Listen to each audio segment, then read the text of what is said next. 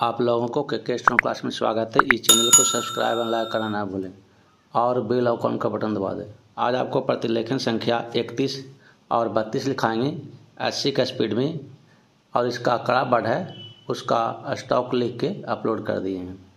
Ready last ready start महोदय, सूर्य से प्राप्त होने वाली ऊर्जा विज्ञान का विषय है परंतु आज ऊर्जा संसाधनों का जो संकट हमारे सामने उपस्थित है, उसको देखते हुए हमारी आशाएँ सूर्य और उससे मिलने वाली ऊर्जा का, ऊर्जा पर टिकी हैं।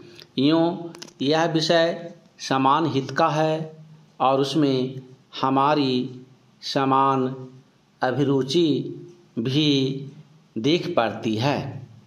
अतः इस पाठ में सौर ऊर्जा की संकल्पना और उसकी उपयोगिता पर स्फुट विचार, अर्ध तकनीकी भाषा में यहाँ प्रस्तुत हैं। ऊर्जा संसार के प्राणियों के जीवित रहने और दैनिक कार्यों के लिए। परम आवश्यक है। पेड़ पौधे सूर्य से ऊर्जा ग्रहण करते हैं। सूर्य से प्राप्त होने वाली ऊर्जा को ही सौर ऊर्जा कहते हैं। समस्त स्रोतों से ऊर्जा प्राप्त करते हैं। ऊर्जा के बिना न तो जीवन संभव है और न ही कोई कार्य हो सकता है।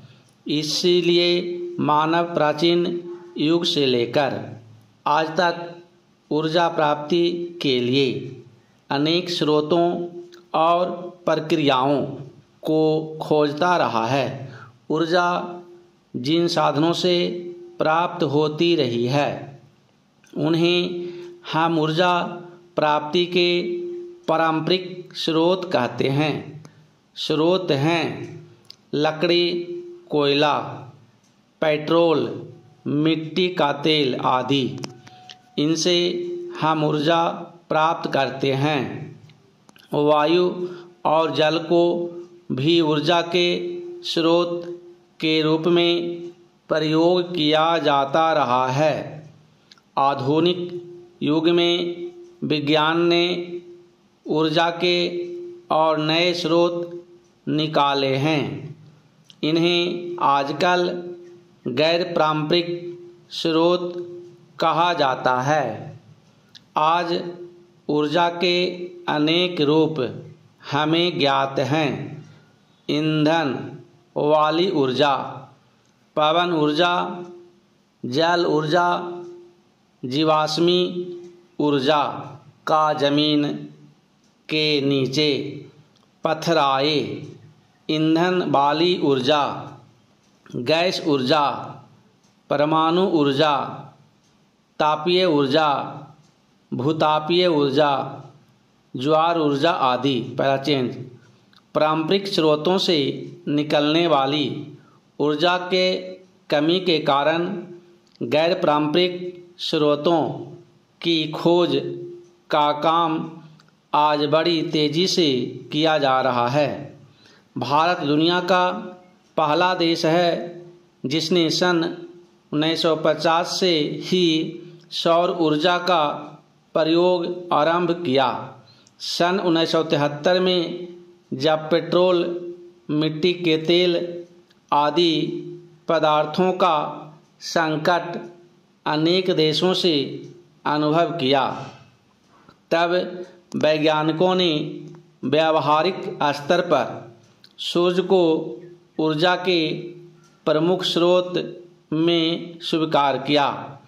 भारत सरकार के गैर पारंपरिक ऊर्जा स्रोत विभाग ने एक व्यापक कार्यक्रम बनाया है। वह राज्यों के ऊर्जा विभागों की सहायता से इन कार्यक्रमों और साधनों को अधिक से अधिक लोकप्रिय बनाने का प्रयास कर रहा है। ऊर्जा कार्यक्रमों के अंतर्गत गैर पारंपरिक ऊर्जा स्रोतों के निर्माण और उनके रख रखाव और प्रचार आदि पर बल दिया जाता है। इनके अनुसंधान तथा विकास के लिए उच्चतम तकनीकी ज्ञान तथा प्रशिक्षण को बढ़ावा दिया जाता है। सौर ऊर्जा हमारे अनेक कार्यों में उपयोगी सिद्ध हो सकती है। सौर ऊर्जा से बिजली भी पैदा की जाती है, जिससे घरों में और सड़कों पर प्रकाश होता है। सौर ऊर्जा से solar cooker, solar heater, solar dryer, solar refrigerator इत्यादि का विकास राष्ट्रीय भौतिकी प्रयोगशालाओं में हो रहा है। सोलर कुकर संदूक के आकार का होता है, जो धूप वाले दिनों में, दो घंटे में दाल, चावल आदि पका सकता है। पहला चेंज महोदय, मांस, मछली आदि को भी इससे पकाया जा सकता है। सोलर हीटर सार्वजनिक स्थानों जैसे अस्पताल, होटल, कारखाने आदि में पानी गर्म करने के लिए काम में लाए जाते हैं। सोलर ड्रायर की सहायता से अनाज, तंबाकू, नारियल, इमारती लकड़ियाँ आदि को सुखाया जाता है।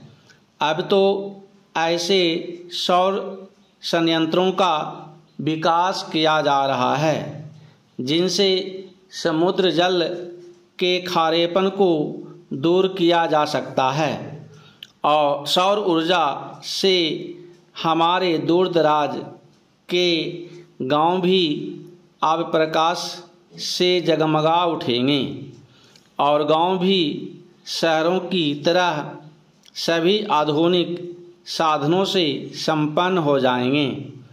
हम भारतवासी सौभाग्यशालिनी हैं कि हमारे देश में सौर ऊर्जा बारहों महीने सुलभ है।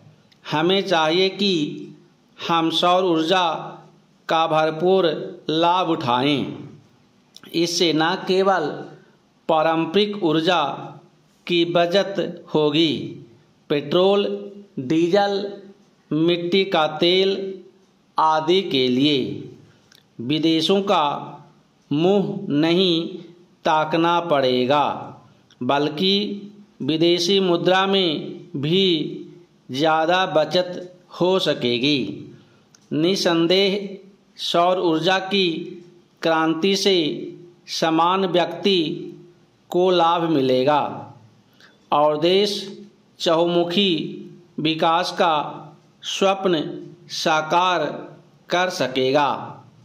चुनाव के पहले की स्थिति से देश गुजर रहा है। देश का लाखों करोड़ों का खर्च चुनाव पर होता है। चुनाव प्रक्रिया पर होता है। अतिरिक्त इसके चुनाव प्रत्याशी भी लाखों करोड़ों का खर्च करते हैं। जन जन तक पहुँचने के लिए जन नेता बनने के लिए अशिक्षित जनता भीड़ देखती है, दिखावा देखती है, प्रदर्शन देखती है, फिर कुछ छोटे मोटे लालच भी काम करते हैं और जनता गुमराह हो जाती है। ऐसी स्थिति में चुने गए प्रत्याशियों से भला क्या देश का हित हो सकता है? शिक्षित बुद्धिजीवियों, व्यक्ति चुनाव प्रक्रिया से, चुनाव परिणामों से हताश होकर, प्रक्रिया से ही अपने को दूर रखने का उपक्रम करते हैं या करने को मजबूर हो जाते हैं। लंबी खड़ी कतारों में अपना समय नहीं लगाना चाहते चेंज लोकसभा, विधानसभा, पंचायत सभी चुनाव यदि एक ही समय कराए जाएँ तो बहुत संभव है। लोगों में रुचि बने। समय का व्यय रुके। आर्थिक खर्च, भार जो देश को बार बार करना पड़ता है, वह बच सकता है। क्या ऐसा कुछ सोचा नहीं जा सकता? प्रत्याशी बनने के लिए भी कुछ मानदंड निर्धारित होने चाहिए। उनको शिक्षित होना चाहिए और चुने जाने वाले, चुने जाने के बाद उनके लिए एक आचार संहिता होनी चाहिए। उनके खर्च एवं संपदा पर एक प्रतिबंध होना चाहिए। एक गणेशनात्मक दृष्टि होनी चाहिए। समाज का हित चाहने वाले ऐसे चुनिंदा लोगों का जीवन महात्मा गांधी की तरह सरल, स्वच्छ एवं सादगी वाला होना चाहिए। यदि ऐसा होने लगा तो व्यापारिक भावना से आने वाले प्रत्याशी स्वयं हट जाएँगे। अच्छे चुनिंदा व्यक्ति ही देश को सही दिशा दे सकते हैं। देश का हित कर सकते हैं। बहुजन संप्रेषण के माध्यमों के अभिनव विकास तथा राष्ट्रीय चेतना का अंतर्राष्ट्रीय जीवन से संबंध बढ़ा है, जिसके कारण मनुष्य की सामाजिक और आर्थिक समस्याएँ भी जटिल होती गई हैं। वैज्ञानिक और तकनीकी विकास भी निरंतर उधर्वमुखी हो रहा है। समाप्त। इसको दो तीन बार लिखें, उसके बाद सौ का स्पीड वाले डिक्टेशन भी लिखें। आपका स्पीड ऑटोमेटिक बढ़ जाएगा। धन्यवाद।